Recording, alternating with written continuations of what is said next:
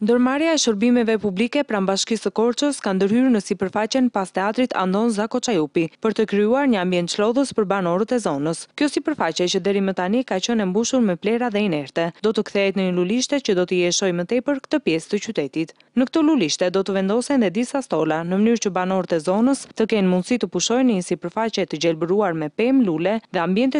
me të gjithë e dur për të shërbyer të zonës të cilët e frekuentojnë atë. Aktualisht po punohet për sistemimin e sipërfaqes dhe ndarjen e zonës tek e cila do të vendosen më pas stollat si dhe shtyllat e ndriçimit, në mënyrë që kjo lulishte të përdoret dhe gjatorëve të mbrëmjes nga qytetarët të cilët do të duan të pushojnë atje. Kto punime do t'i japin një pamje tjetër kësaj zone, ato që ka marrë dhe blloqet e tjera pallatesh në qytetin e Korçës pas ndërhyrjeve të kryera nga bashkia.